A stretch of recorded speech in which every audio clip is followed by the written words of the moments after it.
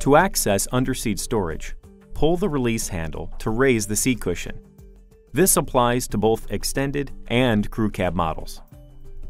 On crew cab models, the rear seat backs can be folded forward. To accomplish this, disconnect the rear seat center safety belt latch from the mini buckle by inserting the tip of the safety belt tongue into the slot on the buckle. Then, let the belt retract. Now, pull the release strap on the top outboard side of the seat back.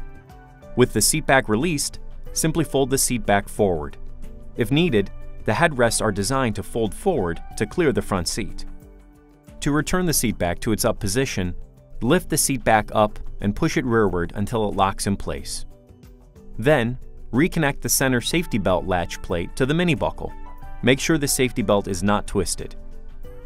Push and pull on the latch plate to be sure the safety belt is secure.